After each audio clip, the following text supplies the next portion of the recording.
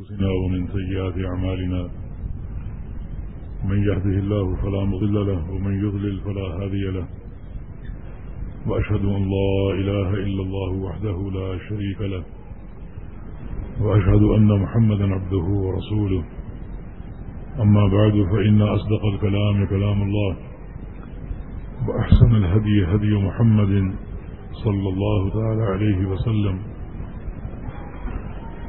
شر الأمور محدثاتها وكل مدسة بدعة وكل بدعة ضلالة وكل ضلالة في النار.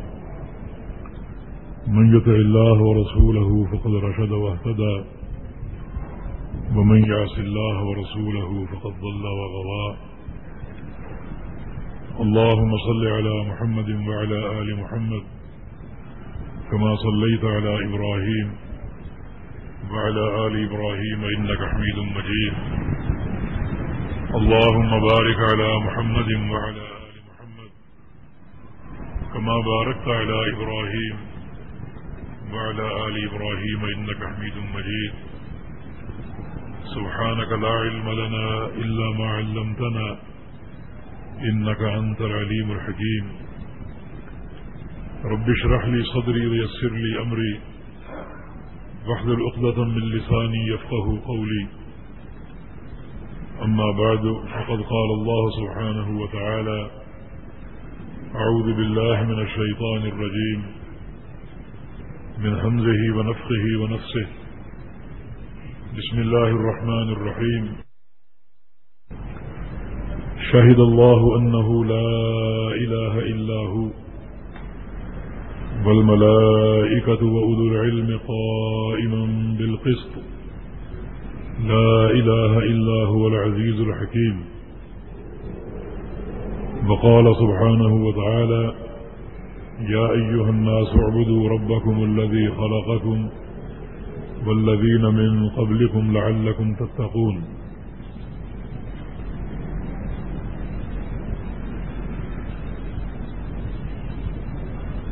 محترم سامعین حضرات،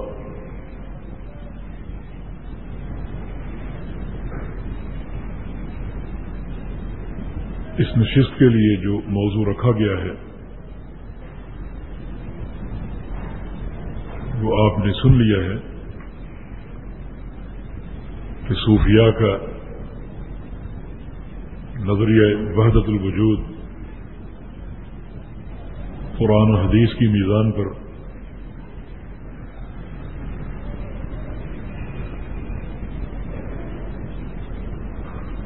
اللہ رب العزت کی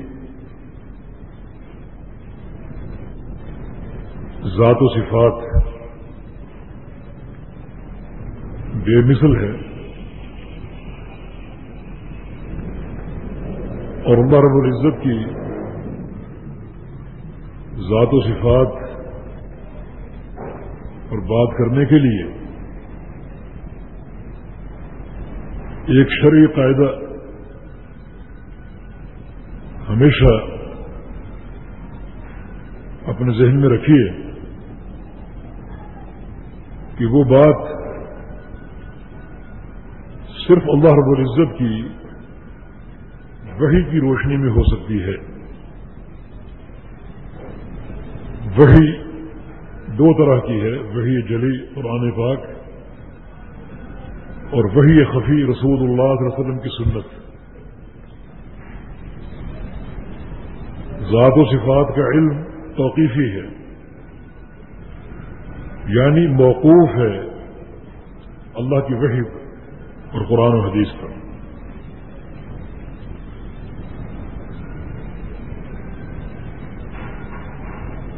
کیونکہ دین اسلام میں سب سے اہم جو امر ہے وہ عقیدہ ہے۔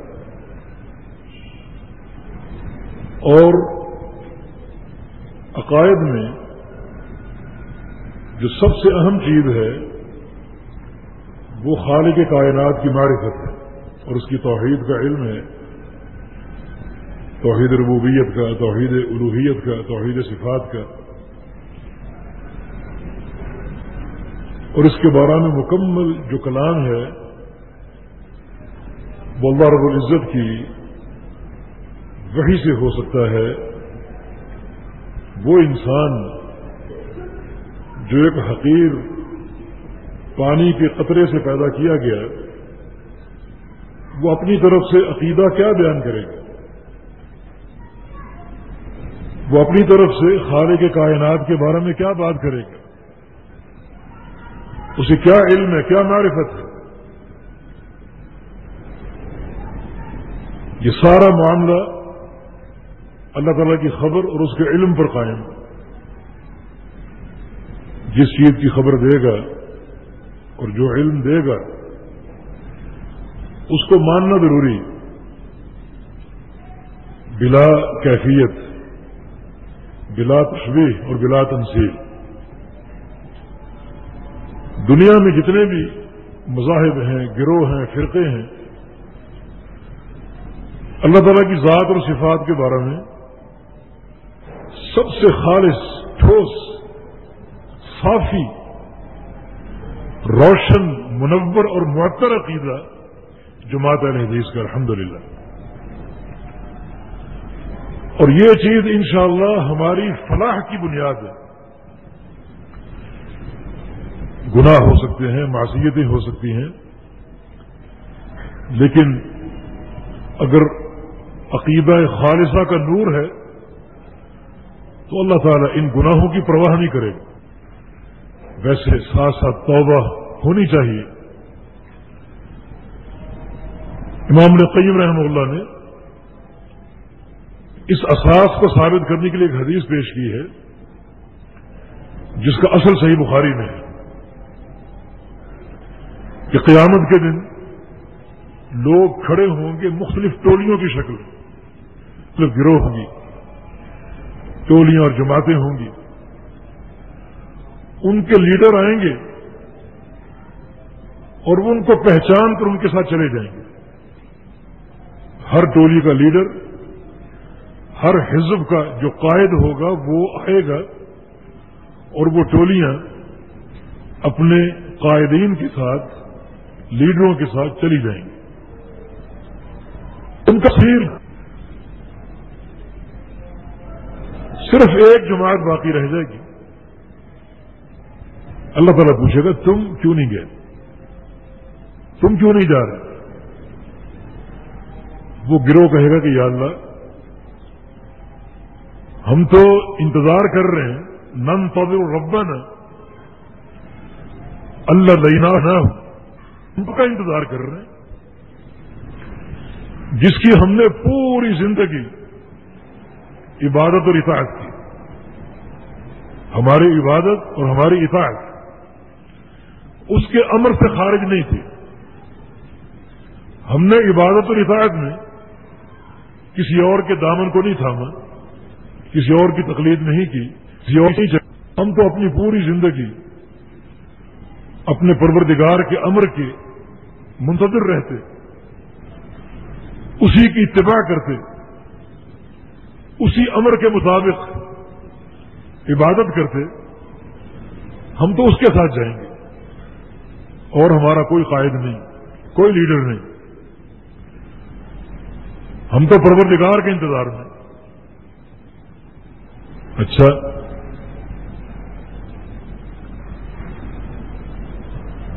آگے سنیں۔ ماہر علامت بینا ہوں وہ بینا ہر گروہ اپنے لیڈر کو پہچان کر ساتھ گیا۔ تمہارے پاس اپنے پروردگار کو پہچاننے کی کیا علامت ہے؟ تم کیسے پہچانو گے؟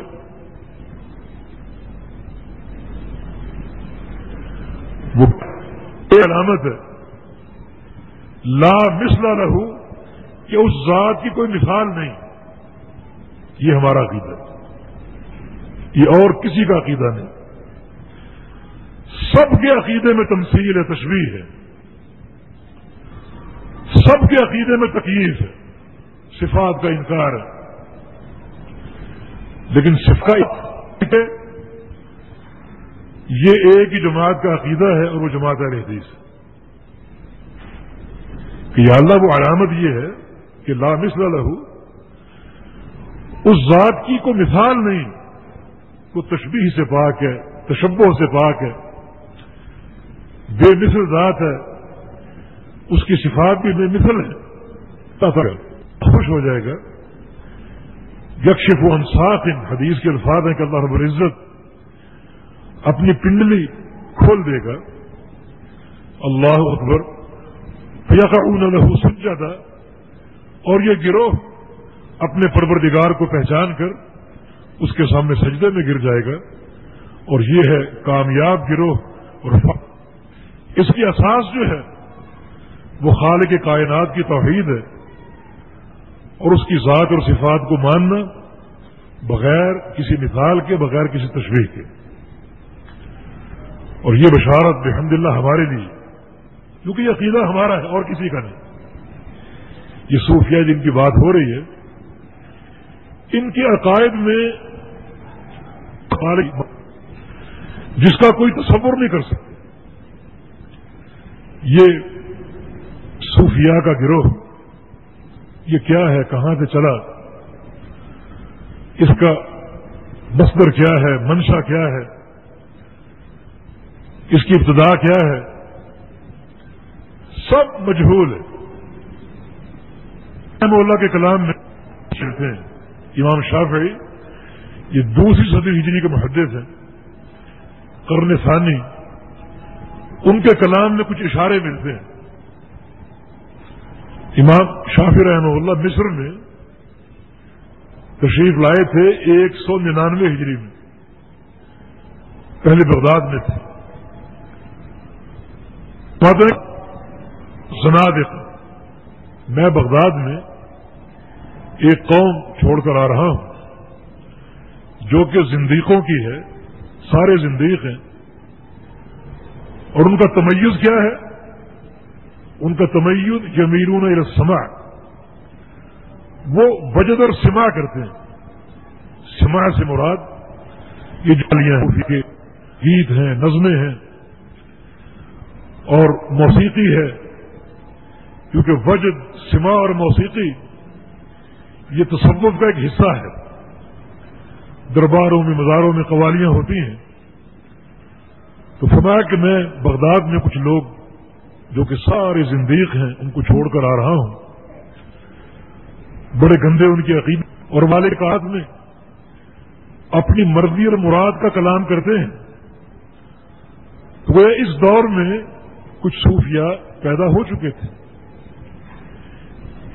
امام شافی کے ایک شاگرد، امام احمد حنبل، جو امام اہل السنہ کے لقب سے معروف ہیں، ان سے کسی نے پوچھا کہ یہ حارث المل ایک صوفی، اس کے بارے میں کیا حکم ہے؟ فرمایا کہ لا تجار سوہ ان کے پاس مت بیٹھنا اور ان کی صحبت اختیار نہ کرنا۔ کیوں؟ اس لیے کہ جو اہل باطل ہیں، اہل ہوا ہیں ان کے پاس بیٹھنا، ان کی مصاحبت اختیار کرنا، یہ بڑی نقصان دہ ہے۔ اس میں کئی نقصان۔ ایک نقصان یہ کہ ممکن ہے تم ان کی بدا سے متاثر ہو جاؤ۔ جو باتیں وہ کریں، اس کی لپیٹ میں تم آ جاؤ۔ اور تم بھی گمراہ ہو جاؤ۔ کیونکہ جو اہل آبا ہیں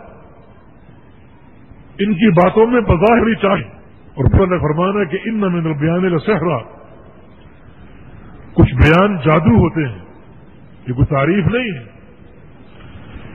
جادو یا جادوگر کسی اعتبار سے قابل تعریف نہیں۔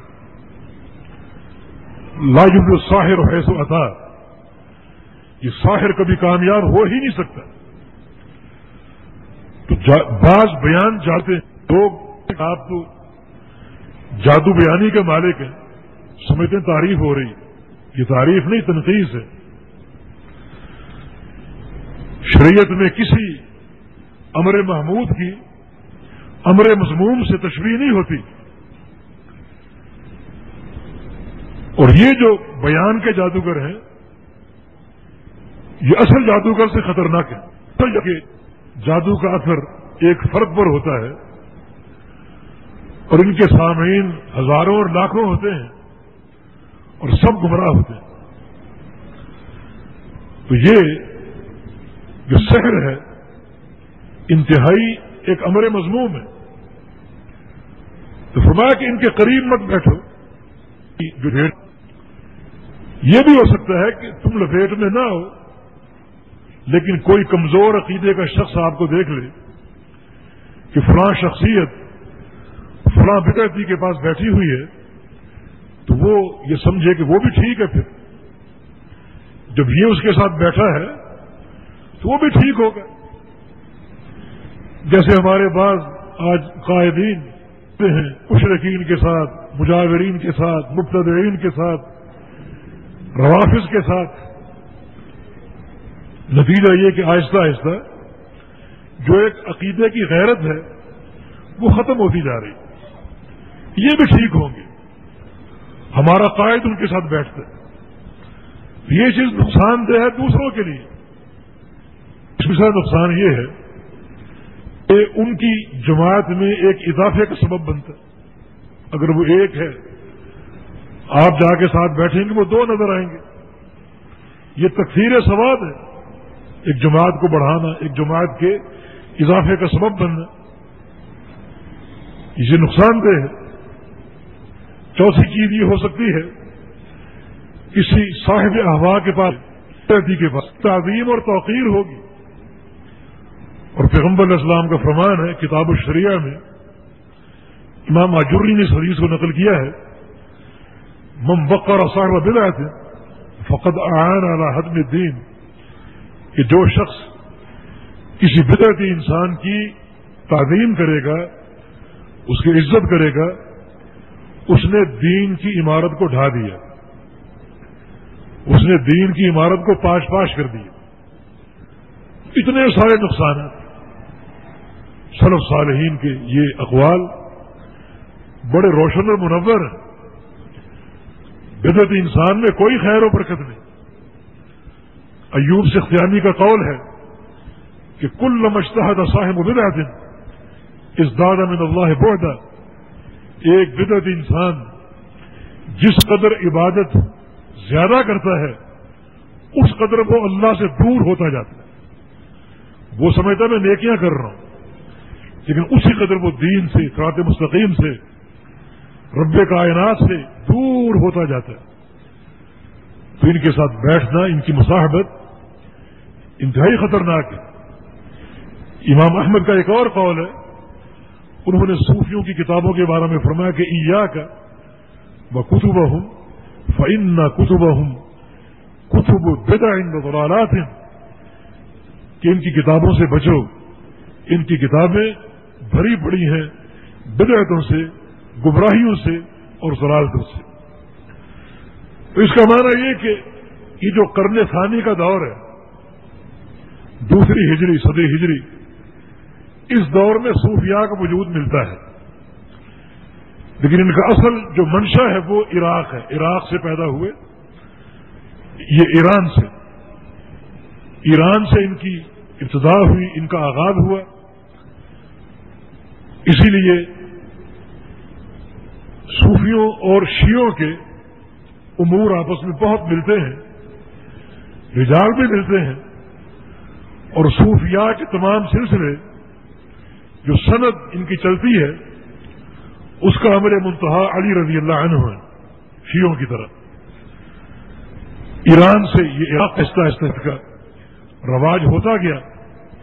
کیونکہ ان کے کلام میں جازبیت تھی، چاشنی اور سحر تھا، اور لوگ ان کی لپیٹ میں آتے گئے۔ اور یہ معتقدات باطلہ اور فاصلہ پھیلتے گئے۔ انتہائی گندے عقیدے۔ میری تحقیق یہ ہے کہ جو عقائد صوفیوں کے ہیں، ترین عقائد کسی اور کے نہیں ہو سکتے۔ دنیا میں سب سے گندا طبقہ صوفیوں کا صوفی ہونا یا کہلانا، یہ کوئی تعریف نہیں، بلکہ عیب ہے۔ ایک گالی ہے۔ میں اپنی ایک بات آپ کو بتاتا ہوں یعنی لفظ صوفی ہمارے معاشرے میں بڑی احترام کی نگاہ سے دیکھتا ہے اپنی سیٹ دیکھ رہا تھا اپنے کارڈ سے۔ تو وہ جو محترمائیں کھڑی ہوتی ہیں، انہوں نے میرا نمبر دیکھا اور کہا کہ صوفی صاحب، یہ سیٹ ہے آپ کی۔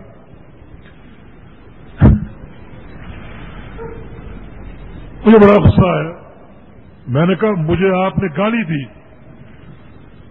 بڑا پریشان ہوئی کہ میں نے تو عزت کی ہے، میں نے تو آپ مجھے گالی دی۔ تو اس نے کہا، میں نے کیا کہہ دیا؟ تو میں نے وہ بات کرنے کا موقع نہیں تھا۔ میں نے کہا کہ سب سے گندی قوم صوفیوں کی قوم ہے اور سب سے گندا نظام تصوف کا نظام۔ یہ کہہ کر میں بیٹھ گیا۔ لیکن بتانا یہ مقصود ہے کہ معاشرے میں ایک یہ جو احترام پیدا ہوا، یہ بھی تو ایک سازش ہے۔ یعنی بعض کلمات، بعض الفاظ معاشرے میں داخل کیے گئے تاکہ ان کا رواج زبانوں پر عام ہو جائے اور اس طرح ہمارے جو بدی عقائد ہیں، وہ لوگوں کی زبانوں پر آ جائیں۔ ایک اللہ ہی اللہ ہے، یہ صوفیت ہے۔ اللہ ہی اللہ نہیں ہے، اللہ بھی ہے، مخلوق بھی یہ صوفی کہتے ہیں کہ اللہ ہی اللہ مخلوق بھی اللہ ہے۔ ہر چیز اللہ، ہر جگہ اللہ، ہر مقام پر اللہ ہی اللہ۔ یہ جملہ صحیح نہیں ہے، یہ پرلے درجے کی بدعت ہے۔ لیکن یہ لفظ رواج بھاگ ہے۔ اللہ ہی اللہ۔ ہے یہ کہاں ہے؟ کون سا قرآن ہے؟ کون سی حدیث ہے؟ اللہ تعالیٰ نے ہمیشہ دو چیزیں ذکر کی۔ ایک اس کی اپنی بات جو خالق ہے، دوسرا مخلوق۔ اللہ خالق اپنی مخلوق سے جدا ہے، متباین ہے، اپنے عرش پر ہے۔ اس کے ماس مخلوق، اس کی بات ہے۔ اس کے سوا ہر چیز مخلوق ہے۔ اللہ ہی اللہ نہیں ہے، اللہ بھی ہے، مخلوق بھی ہے۔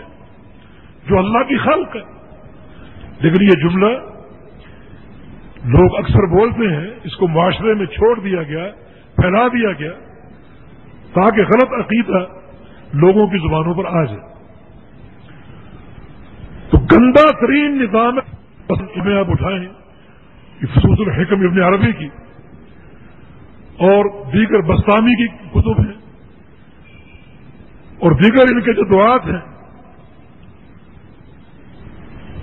اللہ تعالیٰ کے بارے میں ان کا کیا عقید ہے؟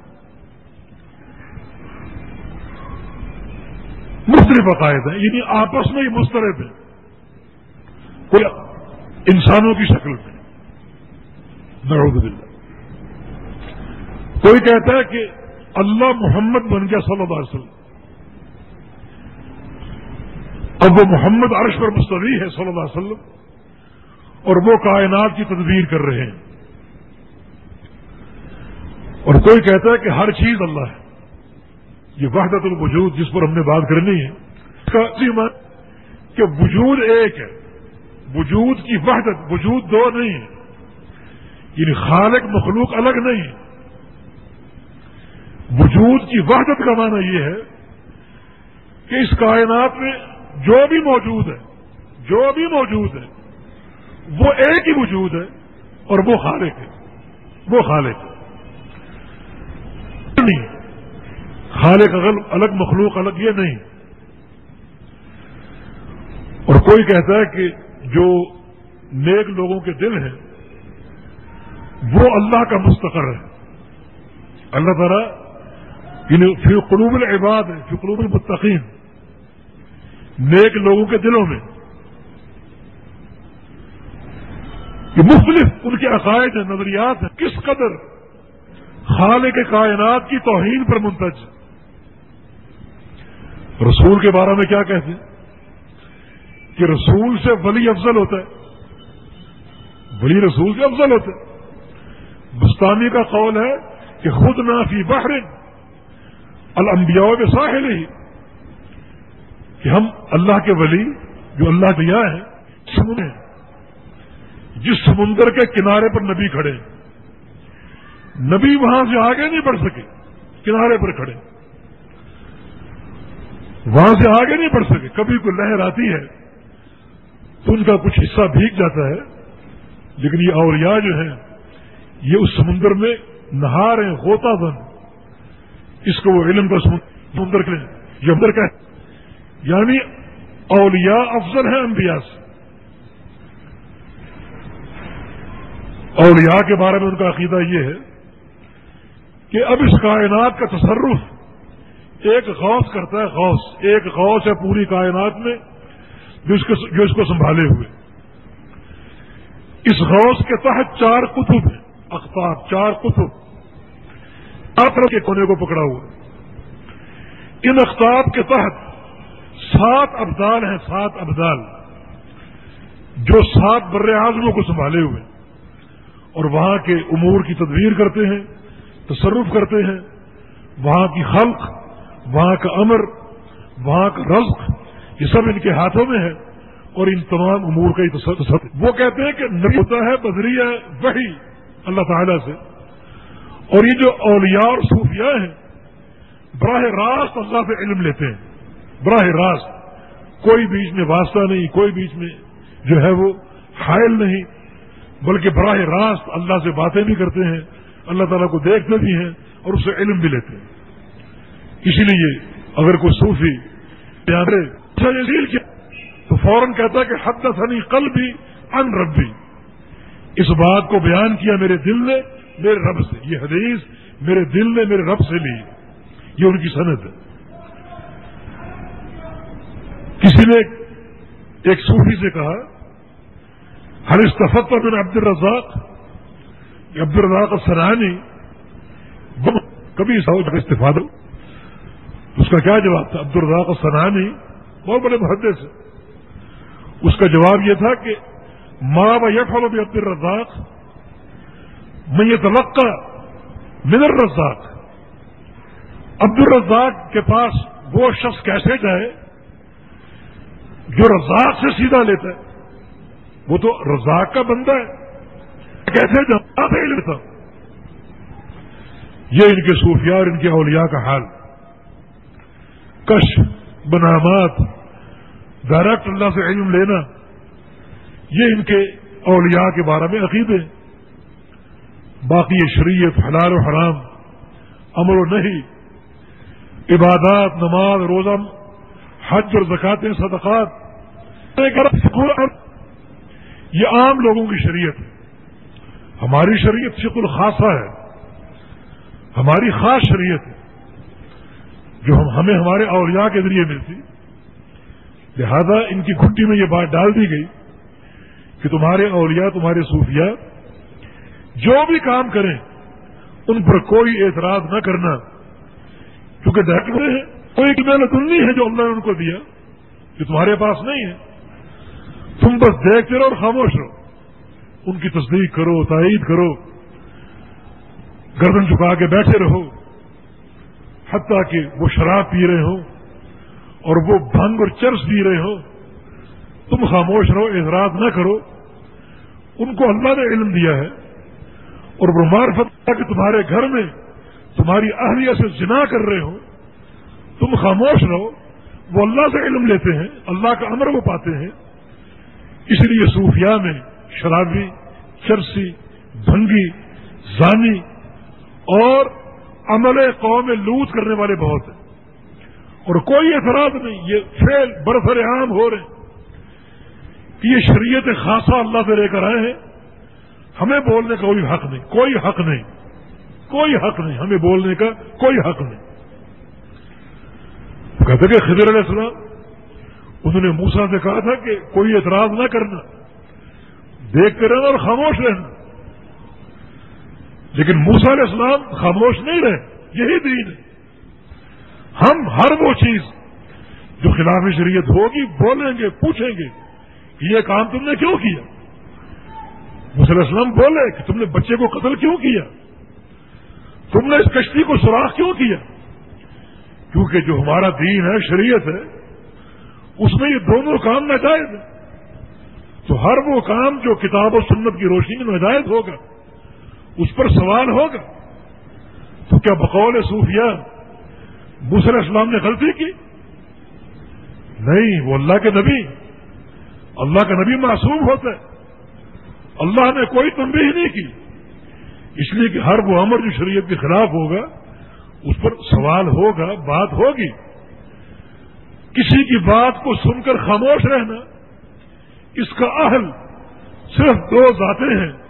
ایک اللہ کی ذات، دوسرا محمد رسول اللہ وسلم کی ذات۔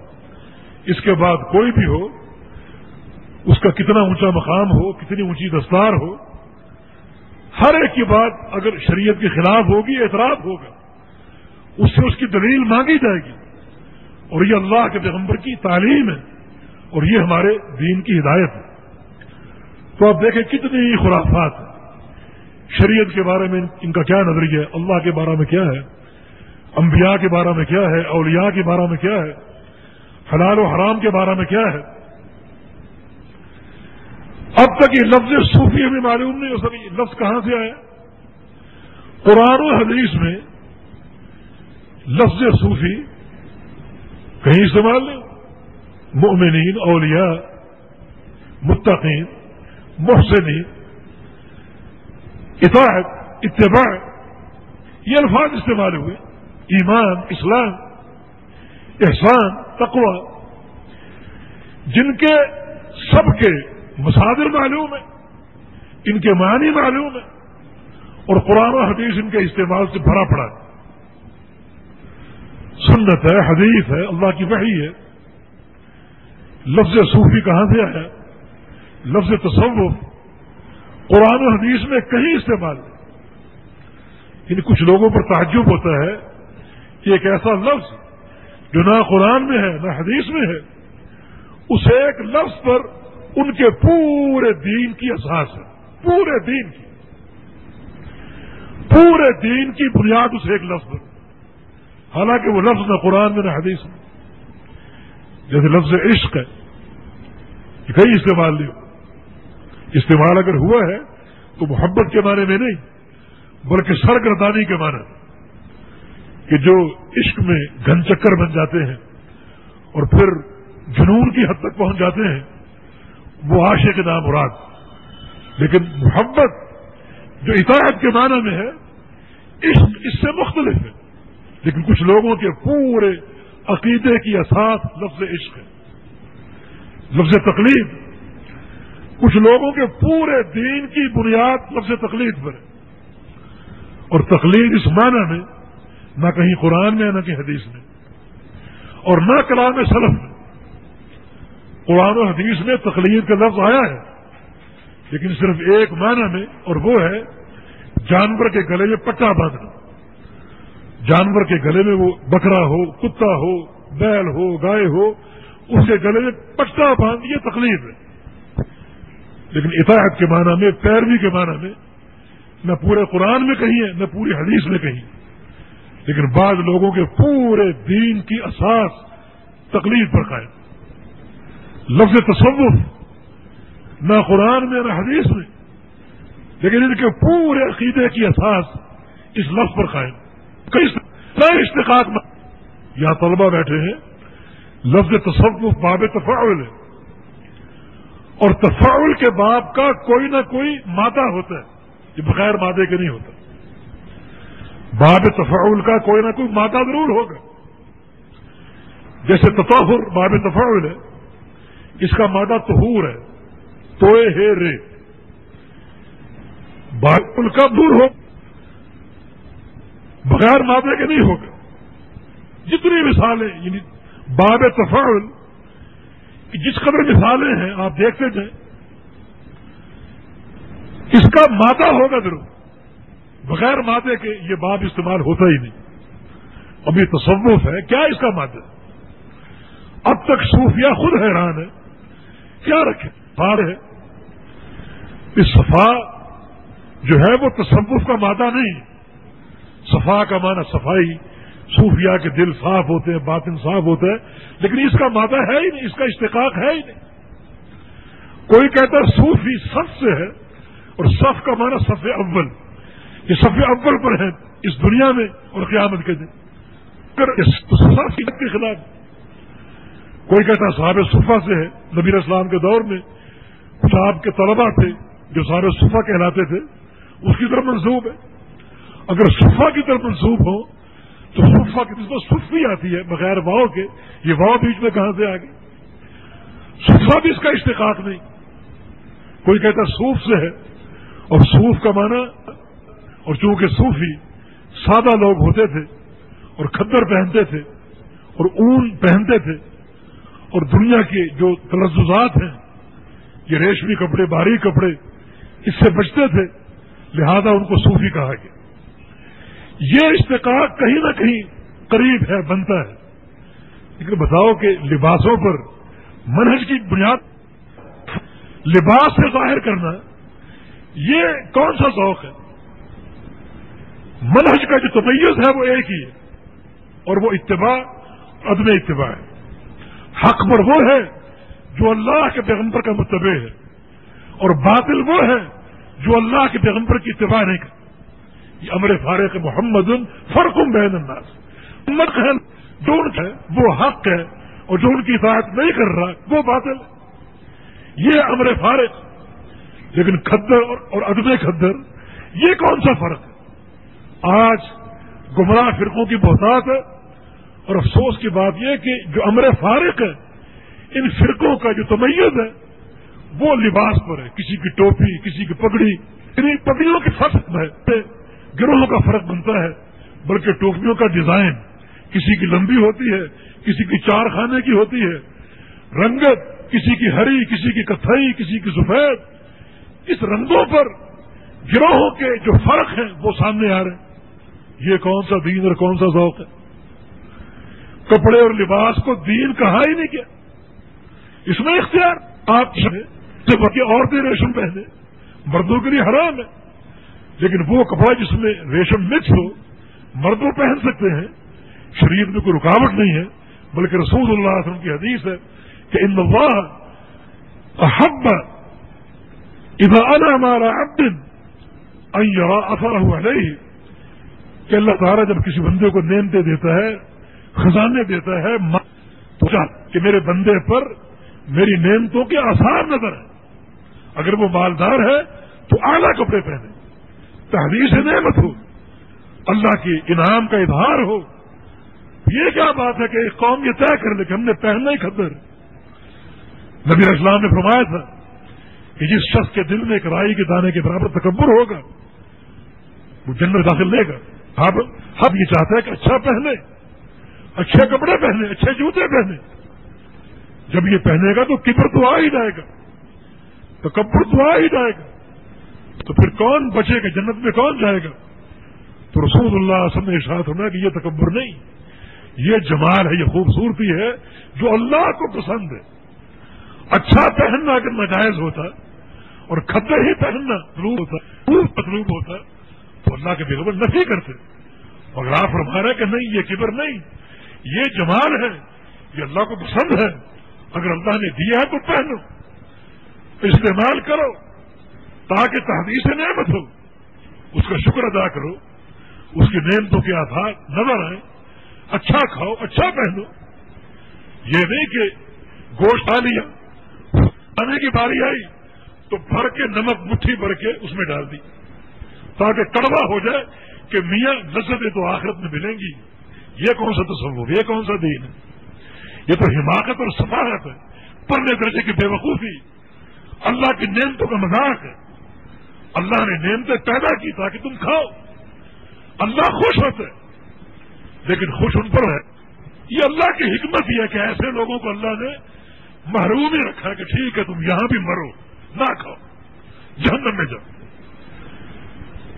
یہ تو میرے پکیزہ بندوں کے لیے۔ جیسے ایک ماں اپنے بچے کو کھلاتی ہے۔ بچہ نہیں کھاتا۔ آگے دوڑتا ہے، ماں پیچھے دوڑتی۔ اور بڑے جتن کرتی ہے، کبھی نہ کبھی، کوئی طریقہ منہ کھولتا ہے۔ وہ دیوانہ ڈالتی، ماں خوش ہوتی۔ اور جو محبت ماں کو اپنے بیٹے سے ہے، اس سے کہیں زیادہ پیار اللہ کو اپنے بندوں سے۔ جب اللہ کے بندے اللہ کی نیم کھائیں گے، تو اللہ تعالیٰ خوش ہوگا اس ماں سے بھی زیادہ۔ لیکن بندے کھانے والے موحد ہوں، دیندار ہوں۔ تو اللہ اور خوش ہوگا نبی اسلام کا فرمان ہے، لا یا کلو مالا کا کہ کوشش پھل پرہیزگار لوگ کھائیں، نیک لوگ کھائیں۔ نات صاحب اللہ مومن اور کوشش کرو کہ جو اچھے عقیدے کے لوگ ہیں، ان کی صحبت میں بیٹھو، ان کے ساتھ بیٹھو، تاکہ ان کے ساتھ بیٹھو گے، ان کا علم حاصل ہوگا، کھاؤ گے بھی، پیو گے بھی، اور یہ چیز خوشی کا باعث ہوگی۔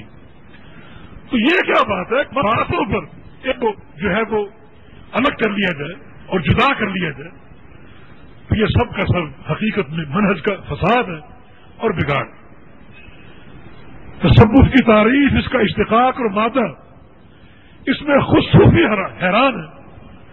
اور جو اشتقاق بیان کرتے ہیں، وہ قواعد کے اعتبار سے غلط ہے نہ ان کا منشا معلوم ہے، نہ ان کی ابتدا معلوم ہے اور نہ ہے، اور نہ تصوف کی تعریف معلوم کہ صوفی کون ہوتا ہے اور صوفی کی تعریف کیا ہے۔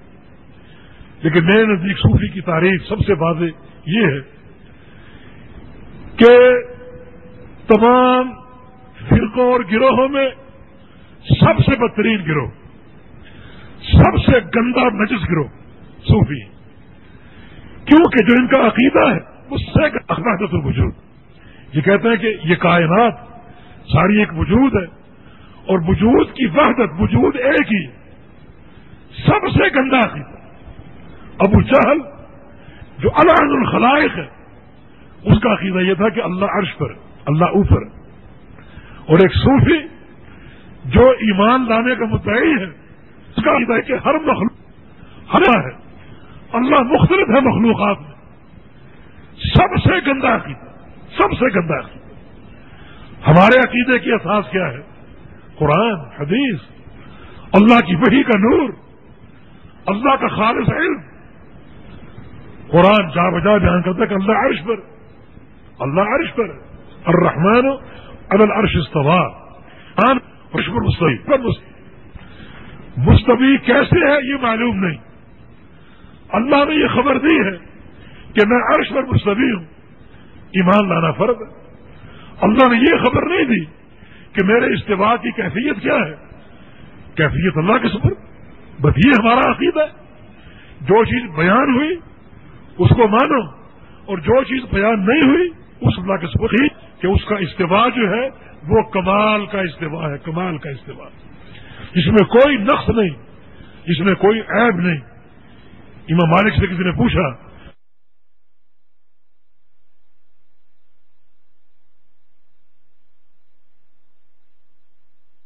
کہ اللہ کا عرش پر مستوی ہونا کیسا ہے؟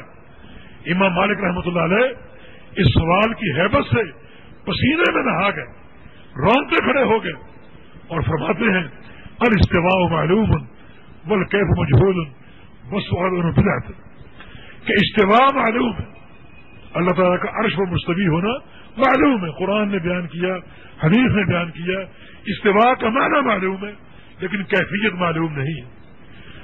استوا معلوم کیوں ہے اور کیفیت معلوم کیوں نہیں؟ اس لیے کہ استوا کی خبر اللہ نے دی ہے اور کیفیت کی خبر اللہ نے نہیں دی۔ جو بتا دیا وہ معلوم ہے، جو نہیں بتایا مجھول ہے۔ لہذا اب جب یہ کیفیت مجھول ہے تو کیفیت کا سوال کرنا بھی رہتا کیفیت کا سوال کرنا بھی رہتا کچھ مسائل اور جواب بدت ہوتے ہیں اور کچھ سوال ہی بدت ہیں کوئی شخص یہ پوچھے کہ اللہ کی کیفیت استفاع کی کیسی ہے، وہ بدتی بنی ہے۔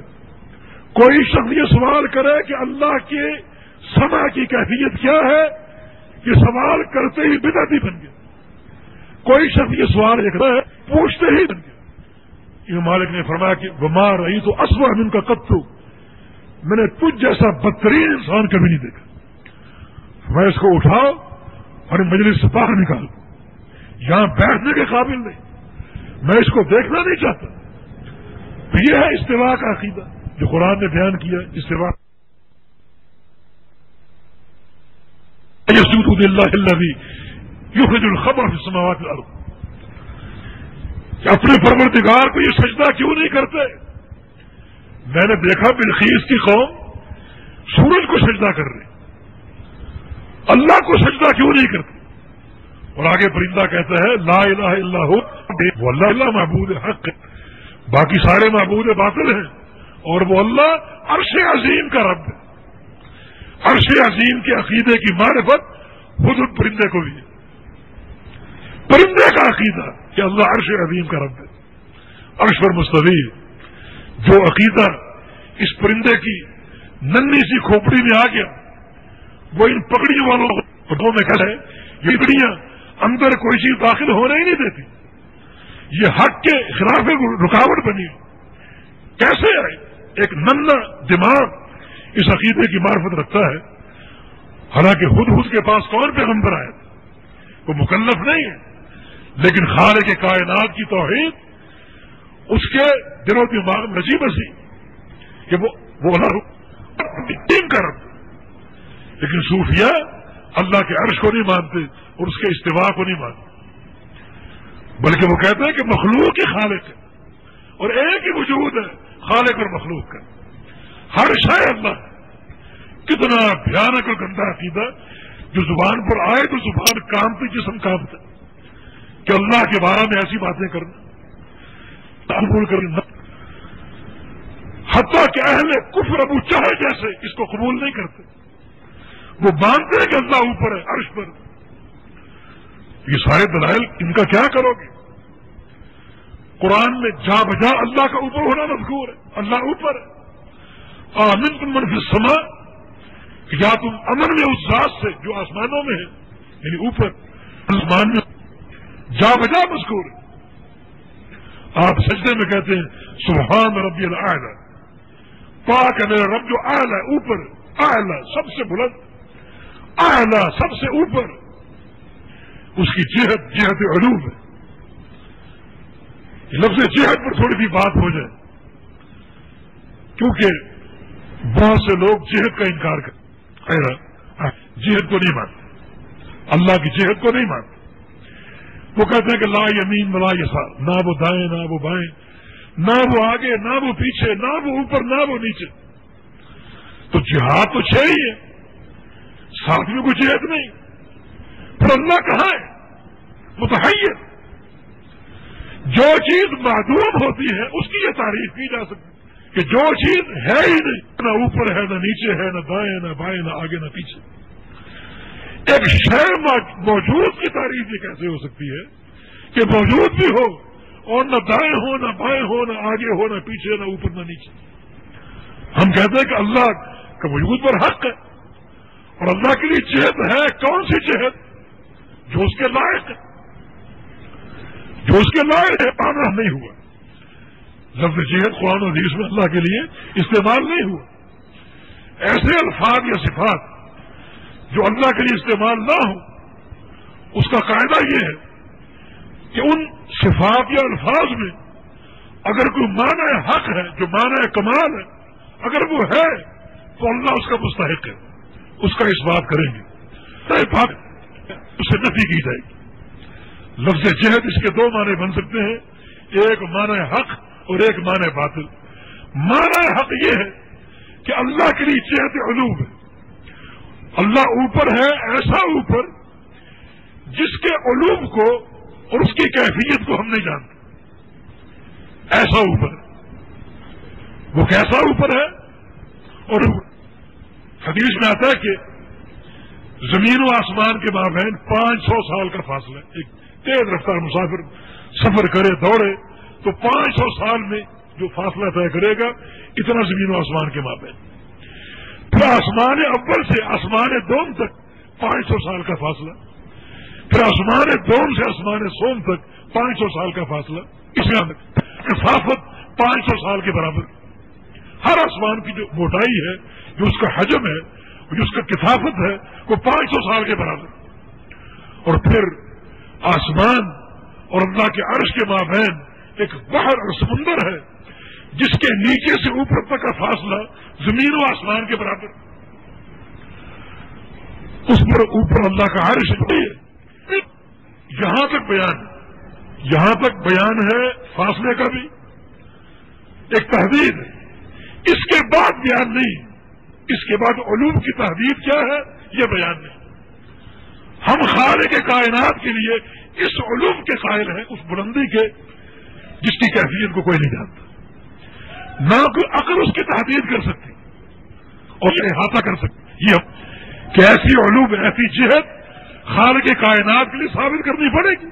اور ہے، اللہ آئلہ ہے، اللہ آسمانوں پر ہے، اللہ عرش پر ہے، بلند ہے اس کی بلندی کی حد کیا ہے یہ معلوم ہے اور جہد کا ایک معنی معنی باطل کہ جہد مستا اس کو ایک آگے جو بھی شے موجود ہے، وہ جہاد سطح میں محصور ہے۔ ایک چیز موجود ہو، اس کے دائیں بھی کچھ ہوگا، بائیں بھی کچھ ہوگا، آگے بھی کچھ ہوگا پیچھے بھی کچھ ہوگا، اوپر بھی اور نیچے بھی۔ یعنی چھ جہاد نے ہر موجود چیز کو گھیرا ہوا اگر جہد کا معنی یہ ہے، تو اللہ اس معنی سے پاک ہے۔ اللہ محیط کا نادا احاطہ کیا ہوا ہے، اس کا احاطہ کسی نے نہیں کیا۔ اس کا علوم غیر مقیب ہے، اس کی کوئی تعریف نہیں کر سکتا۔ یہ ہمارا عقیدہ ہے۔ اور اگر جہد کا معنی شہ محصور ہے گری ہوئی چیز، تو اللہ اتفاق لہذا جب لفظ جہد کے دو معنی ہیں، ایک معنی حق اور ایک معنی باطل، اور اور جہد کے اندر نہ کریں ہوگی حق معنی کے ساتھ بھی، باطل معنی کے ساتھ بھی۔ تو اس میں یہ فرق کرنا پڑے گا کہ لفظ جہد کا جو معنی حق ہے، وہ اللہ کے ساتھ ثابت ہے اور قائم ہے، اور جو معنی باطل ہے، اس کی اللہ سے نفی ہو۔ لفظ جسم ہے لفظ جسم، اگر جسم کا معنی جس میں مخلوق ہے تو اللہ اس سے پاک سے مراد کی تو اللہ کے لیے ثابت ہے۔ حالانکہ لفظ قرآن سے بیان نہیں ہوا۔ اللہ نے اس کا ذکر نہیں کیا۔ لیکن ایسی صفات جس کا ذکر نہ ہو، اس میں اگر کوئی معنی حق ہے، تو اس کو مطلق ہم اس کی نفی نہیں کر سکتے، بلکہ جو حق ہے، اس کو ثابت کریں گے۔ اور جو باطن اور عیب اور نقص ہے، اس کی نفی کریں۔ گے اللہ کے بعد اہل حدیث بزرگوں سے بھی سنا۔ کہ اللہ کی جہت نہیں۔ وہ اصل بات یہ کہ علم کلام یا قائد نصفیہ ہمارے مدارس میں پڑھائی جاتی تھی اور یہ سارا علم جو ہے، اس میں جو صفات باری تعالیٰ کے حوالے سے کلام ہے، بیشتر چیزیں اللہ کی وحی اور اس کی براد کے خلاف اور وہ باتیں ذہن میں رہ جاتی ہیں یہ ہے، لہٰذا آپ اس بات کو سن لیں اور سمجھ لیں کہ اللہ تعالیٰ سے جہد کا مطلق انکار درست نہیں ہے۔ بلکہ جہد کا جو معنی حق ہے، وہ اللہ کے لیے ثابت ہے کہ اللہ اوپر ہے، اس اوپر کی کیفیت کیا ہے، اس کی تحریر کیا ہے، یہ کوئی نہیں جانتا۔ ہم کہتے ہیں کہ اللہ اوپر ہے، کیسے؟ جیسے اس کے لائق ہے۔ ہمیں جان اور سر ہے وہ معصول ہے، یہ معنی اللہ سے جو ہے منتفی ہے۔ اللہ اس سے پاک ہے، یہ نقص اور یہ عیب ہے۔ اور اللہ ہر عیب سے پاک ہے۔ سبحان اللہ بب حمد ہی سبحان اللہ العظیم۔ اس ان دلائل سے کیا ثابت ہو؟ اللہ اوپر۔ قرآن حدیث میں اللہ کا علوم مختلف طریقوں اور صورتوں سے جیسے بہت سی چیزیں اوپر جا رہی۔ الہیہ صدر الکلم طیب اللہ کی طرف چڑھتے ہیں کلمات طیب۔ اگر اللہ یہاں ہے، تو کرنے کا معنی کیا ہے؟ اللہ اگر ہر جگہ اللہ اگر ہر جگہ یہ اختر ریاض صاحب جو بات کر رہے تھے کہ بڑے بڑے دعات لوگوں سے کہلواتے ہر جگہ موجود، اللہ ہی۔ یہ باتیں ہوتی ہی نہیں ہوتی۔ بڑے بڑے جو دائی قوم ہر جگہ موجود، اللہ ہی۔ لوگ کہتے ہیں ہر مقام پر موجود، اللہ ہی۔ یہ تصوف ہے۔ اور یہ علماء دیوبند جو اس عقیدے کی تشہیر کر رہے ہیں۔ حقیقت میں اس غلط اور کفی عقیدے کو پھیلا رہے ہیں۔ اللہ کے ذات ہی اپنے عرش پر ہے اور اس کا علم و قدرت پوری کائنات پر محیط ہے۔ ہر جگہ موجود اللہ ہی پرلے درجے کا تصوف ہے۔ ابو چہل بھی اس عقیدے کا قائل نہیں تھا۔ اتنا گندا عقیدہ ہے۔ تو اللہ کی طرف کلمات طیبہ چڑھتے ہیں۔ اگر اللہ ہر جگہ موجود ہے چڑھنے کا کیا ہے اگر ہر مخلوق خالق ہے، نعوذ باللہ، اوپر پھر کہاں جا رہی پھر تو یہی موجود نیک امان اللہ کی طرف پہنچتے نبی اسلام کی حدیث ہے۔ یورف احمد اللہ خبر احمد النہار۔ وہ عمل النہار قبل عمل نہیں کہ اللہ تک چڑھتے ہیں رات کے اعمال دن کے اعمال سے پہلے اور دن کے اعمال رات کے اعمال سے پہلے۔ اعمال چڑھ رہے اللہ کی طرف۔ چڑھنے کا کیا میں حدیث میں آتا کہ جو شخص یہ چار کلمات کہے، سبحان اللہ الحمد للہ ولا الہ الا اللہ، واللہ اکبر، تو یہ چار کلمات اوپر کو چڑھتے ہیں، تیری کے ساتھ اور پرواز کرتے کرتے اللہ کے عرش تک جا پہنچتے۔ لہن دبی کا دبی کی نہل اور وہاں جا کر ان کی گونج سنائی دیتی۔ اور فرشتے جو حاملین عرش ہے وہ نام لے کر کہتے ہیں کہ یہ چار کلمات فلاں بندے نے پڑھے ہیں، اور وہ گونج رہے اللہ کے عرش پر۔ یہ اوپر کہاں جا رہے تھے؟ اگر ہر جگہ موجود اللہ ہی، تو پھر یہیں رہتے وہ۔ اللہ تو موجود ہے ناؤز باللہ۔ اوپر کہاں جا رہے تھے؟ اس علیہ السلام کے بارے میں قرآن عقیدہ بیان کیا بس رفا اللہ علیہ یہودی عیسائی کہتے ہیں، ہم نے قدر کر دیا۔ اللہ فرما رہا ہے کہ نہیں، اللہ نے اس کو اٹھا لیا اپنی طرف۔ اگر اللہ ہر جگہ موجود ہے، اٹھانے کا کیا میں یا عیسا ان کا غرافیوں کا ہی نہیں عیسا میں تجھے موت دینے والا ہوں، اپنی طرف اٹھانے والا ہوں۔ یعنی موت دینے کا مانا جب چلو موت کا وقت آئے گا۔ پھر میں نے اٹھا لیا۔ پھر ایک وقت آئے گا، تجھے نیچے اتاروں گا۔ اتارنے کا کیا میں؟ اللہ نے اٹھایا اپنی طرف۔ پھر نیچے اتارے گا۔ یہ اتارنا اور چڑھانا، اٹھانا کیا مانا اس کا؟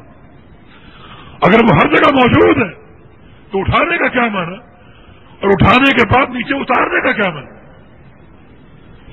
ان دونوں چیزوں میں اس اللہ تعالیٰ کا علوم ثابت ہو رہا ہے۔ ثابت ہو رہا ہے کہ اللہ اپنی خلق سے متبادل ہے، جدا ہے، الگ ہے۔ اور جب تیری موت کا وقت آئے گا تو یہ موت دوں گا۔ اس طرح زندہ ہے پھر زمین پر آئیں گے، چالیس سال رہیں گے، اور چالیس سال کے بعد ان کی موت آئے گی۔ راج کیوں ہی میراج نیچے، اگر اللہ ہر جگہ موجود ہے، نیچے ہے، تو یہ اوپر جانا ساتوں آسمانوں تک۔ پھر اس سے بھی اوپر، جہاں تک اللہ نے چاہا، کیا مانا اس کا؟ پھر میراج کر کے نیچے آنا، کیا مانا اس کا؟ اور پھر جب نیچے آ رہے تھے موسا علیہ السلام ملے چھٹے آسمان پر۔ اور موسا علیہ السلام نے کہا، اللہ نے کیا کیا؟ کہا، تخفیف طلب کر لو، پچاس نمازیں بہت بھاری ہو جائیں گی میری امت دو نہیں پڑھ سکی جو تم سے زیادہ طاقتور تھی۔ تم پچاس کیسے پڑھ سکو گے؟ جاؤ تخفیف طلب کرو۔ حدیث کے فاد ہے کہ نبی اوپر گئے اللہ سے تخفیف طلب کی۔ اللہ نے پانچ، دس نمازیں کم کر دی، پھر نیچے آئے۔ پھر موسا نے کہا، پھر جاؤ۔ پھر گئے۔ پھر پھر پھر اوپر جا کے تخفیف طلب کرو۔ پھر اوپر گئے۔ اوپر نیچے کہاں جا رہے چھٹے آسمان۔ پھر وہاں سے بھی اوپر۔ کیا مقام ہے خالے کے کائنات کا؟ اگر وہ ہر جگہ موجود ہے، تو کیا مانا اس کا؟ اور پھر پیغمبر اسلام کو اوپر نیچے آنے کا کیا مانا تم کہتے ہو کہ نبی بھی عالم الغیب ہے۔ اگر نبی عالم الغیب ہے تو معراج کا کیا مانا معراج کا کیا مانا مانا یہی ہے کہ جب وہ زمین پر تھا تو آسمان پر نہیں تھا۔ آسمان پر گیا تو زمین پر نہیں تھا۔ پہلے آسمان پر تھا، دوسرے پر نہیں تھا۔ دوسرے پر گیا تو پہلے پر نہیں تھا۔ تیسرے پر نہیں تھا، تیسرے پر گیا، دوسرے اور پہلے پر نہیں تھا۔ نبی عالم الغیب نہیں۔ پھر یہ معراج کیا مانا اس کا؟ یہ اوپر کہاں جا رہے ہاں اگر وہ ہر جگہ موجود ہے، تو کیا مانا معراج کا؟ پھر قرآن و حدیث میں بہت سی چیزیں اتارنے کا ذکر ہے۔ اللہ بڑھتا ہم نے وہی اتاری۔ اتارنے کا کیا مانا اگر اللہ یہاں موجود ہے، وہی دے دے۔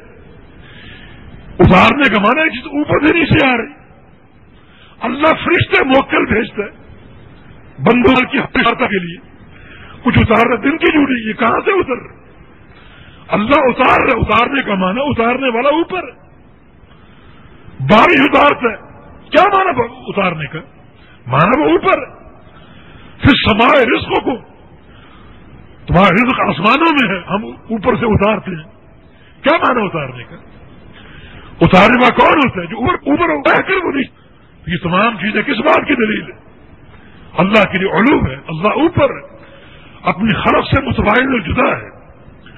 خلق کے اندر نہ مختلف ہے، نہ حلول کیے ہوئے ہیں، نہ ان کے اندر موجود ہے، اور نہ ہر مخلوق نوز باللہ خالق خالق الگ ہے، مخلوق الگ یا یو ہننا سو بدو رب حکم اللہ بھی خالق حکم اے کرو، اپنے پرمرگار یہاں دو ذاتیں ہیں۔ ایک اللہ کی ذات جو حکم دے رہی ہے کہ عبادت کرو، اپنے رب کی، ایک رب کی ذات ہے۔ اور ایک ذات عابدین کی عبادت کرنے والوں کی۔ تو عابد اور معبود ایک ہی یعنی عابد بھی معبود ہے اور معبود ہی عابد۔ ہے یہ تفریق کیسے کرو گے؟ یہ دو الگ ذاتیں ہیں۔ ناس الگ ہے، رب الگ ہے۔ الگ ہے۔ حدیث میں آتا ہے کہ ہمارا پروردگار ہر رات آسمان دنیا پر نزول فرماتے پھر نزول کا کیا مانا کیا مانا نزول کا؟ اللہ اترتا ہے۔ جب رات کا آخری تہائی باقی بچتا ہے، اللہ اترتا ہے۔ صحیح بخاری بھی حدیث موجود ہے۔ اور تمام حدیث کی کتب نزول وہ علوم ہو، اوپر سے نیچے آنا ہوتا ہم کہتے ہیں کہ نزول کی کیفیت ہم نہیں جانتے۔ جیسے اللہ کے لائق ہے ویسے ہی۔ ہم نزول کو اپنے ذہنوں میں قیاس بھی نہیں کر سکتے۔ یہاں بھی ایک بات کی وضاحت ایک وائز باز کر رہا تھا، اپنا اپنا انداز بیان ہوتے بندہ آپ کچھ تک یا اللہ مجھے رزق دے، مجھے شفا دے۔ میں تجھے پکارنے کے لیے اپنا بستر چھوڑ کر آیا ہوں۔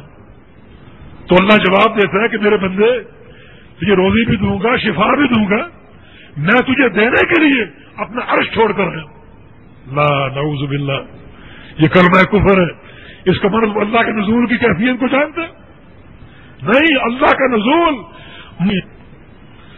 مخلوق اگر چھت پر ہے، نیچے آ گئی، تو چھت اس کے وجود سے خالی ہو جائے گی۔ میں کرسی پر بیٹھا ہوں، اٹھوں گا، تو کرسی مجھ سے خالی ہو جائے گی۔ اللہ کا عرش خالی نہیں ہوتا۔ اس کا نزول مخلوق کے نزول جیسا نہیں ہے۔ اس کی کیفیت کوئی نہیں جانتا۔ یہ جملہ غلط ہے۔ یہ جملہ غلط۔ ہے ارب یہ کرنا مقصود ہے کہ اللہ کا نزول ابھی علوم کی نیچے چیز کون سی ہے؟ اوپر. اگر آپ کہیں کہ اللہ زمین پر ہے نوز مخلوقات کے ساتھ ہے. تو آسمان کی طرف نزول کا کیا مان آسمان تو اوپر. اوپر سے نیچے آنا آسمان پر، اس کا مانو آسمانوں سے اوپر ہے. اور پھر اس کا پکارنا کہ ہے کوئی مریض، فرق کرنے کا مریض اور شفا دینے والے میں اگر مریض بھی وہی ہے، شفا دینے والا بھی وہی ہے تو اس سے بڑی حماقت اور جہالت ہے کوئی؟ ہے کوئی سائل؟ میں اس کو روزی دوں۔ اگر سائل بھی وہ ہے مصول بھی وہ ہے، تو پھر اس پکارنے کا کیا مانا کیا مانا اس کا؟ اور پھر کتابوں نے کہ میں ایک پکارتا رہتا ہے، پکارتا رہتا ہے۔ حتیٰ کہ فجر شروع ہوتی ہے سم میسات پھر اللہ اوپر کو چڑھ جاتا ہے۔ اوپر کو چڑھ جاتا ہے۔ کیا مانا اس کا؟ اس کا اوپر سے نیچے آنا اور پکارتے رہنا فجر شروع ہونے تک، پھر نیچے سے اوپر کو چلے جا رہا کیا مانا اس کا؟ اس کا مانا اللہ کے جو علوم ہے، اپنی خلق سے اس کی جدا ہے آگے مختلف نہیں ہے، نہ بندوں کے اندر ہے، نہ بندوں کے ساتھ ہے اس کی ذات۔ اس کا علم ہر مقام پر ہے، اس کا احاطہ ہر مقام پر۔ ایک معنی اور قابل غور اگر ہر انسان میں اللہ ہے یا ہر مخلوق نوز باللہ اللہ ہے۔ جیسے کہ صوفیہ کا عقیدہ ہے، تو کہنا یہ کہ غلبہ پایا تو انسان فاتح بھی ہوتا ہے مفتو بھی ہوتا ہے۔ انسان صحت مند بھی ہوتا ہے، بیمار بھی ہوتا ہے۔ انسان کی مراحل ہے معدوم، پہلے معدوم ہے، پھر وجود۔ اور پھر عدم اور پھر دوبارہ پیدا ہو کے دوبارہ قیاموں کو اٹھایا جائے گا ان سارے مراحل کے خالق کے لیے ہوں گے۔ پھر اور پھر اس کا دماغ مختلف ہو جاتا ہے۔ اور کوئی چیز اس کو یاد نہیں رہتی، کمزور، ہڈیوں کا ڈھانچہ۔ یہ تقریر اللہ میں آ رہے ہیں کیا؟ پھر انسان، مسلمان، کافر، نیک اور بد، کہ ہر چیز اللہ ہے، نعوذ باللہ۔ مقامات اچھے بھی ہیں۔ برے بھی ہیں، ناپاک بھی ہیں، گندے بھی ہیں، کہ ہر جگہ اللہ جیت تم حقیقات جائے تمہارے دماغوں میں اس کا کیا تعارف ہے؟ پھر اس کا معنی یہ کہ اس پر چیز غالب آ سکتی ہے کوئی بھی۔ دیکھیں، حدیثوں میں آتا ہے، جہاں اللہ کا نام لیا جائے، وہاں شیطان بھاگ جاتا ہے۔ حدیث ہے کہ اذان ہوتی ہے، شیطان بھاگتا ہے، اس طرح کہ اس کی ہوا خارج ہوتی اور بھاگتے بھاگتے ایسے مقام پر پہنچ اذان سنا دے اذان جہاں بھی ہو رہی ہے، وہاں بھی ہو رہی بھاگ رہے دوڑ رہے پریشان ہے اور آخری کونے تک پہنچ جاتے جہاں اذان کی آواز نہ آ رہی۔ اللہ کے نام سے بھاگتے اللہ کے نام کی طاقت، اور اس کے نام کی قوت۔ لیکن ایک انسان نے اگر اللہ حلول کیے ہوئے ہیں، نعوذ باللہ، تو پھر شیطان تو غالب آتا ہے۔ رسول اللہ سے پوچھا گیا صلی اللہ علیہ وسلم کہ کہ فجر شروع ہو گیا۔ اس نے نماز نہیں پڑھی۔ فرمایا کہ تاک رجل بال شیطان فی ادو نہیں اس شخص کے کانوں میں شیطان نے پیشاب کیا۔ بتاؤ یہ بات کہاں جاتی؟ اللہ کے نام کے ذکر سے شیطان بھاگتا ہے اور نوز باللہ، اگر اللہ وہاں موجود ہے، تو شیطان تو غالب آ گیا۔ نظریے کے خلبہ اور تسلط کیا مان نبی اسلام کی حدیث ہے۔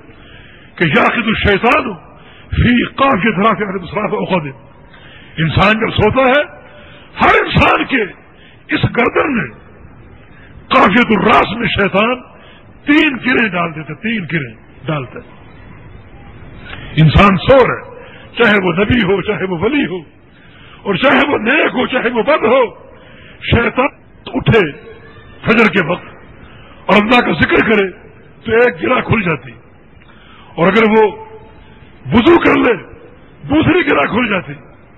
اور اگر وہ نماز پڑھ لے، تو تیسری گرا کھل جاتی اس بندے کے عمل سے۔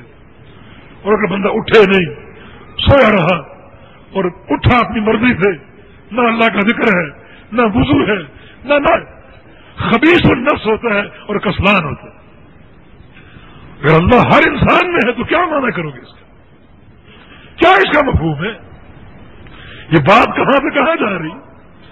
اللہ کے ذکر سے شیطان بھاگتا ہے اور جہاں اللہ کی ذات نوز باللہ موجود ہے، وہاں شیطان گرے بھی لگا رہے اور اللہ معاف کرے، کانوں میں پیشاب بھی کر رہے اس تسلط کا کیا معنی بیان کرو گے پھر رسول اللہ وسلم کی حدیث ہے یدری شیطان کہ مجرا دمے کو کہ شیطان جو ہے تمہارے خون کے ساتھ گردش کر رہا اگر اللہ مخلوق میں حلول کیے ہوئے ہے اور ہر شخص میں اللہ ہے، ہر چیز میں اللہ ہے، تو شیطان تو گردش کر رہے ہیں مجر دم میں گھوم رہا گردش کر رہے ہیں پھر کیا مانا کرو گے اس کا؟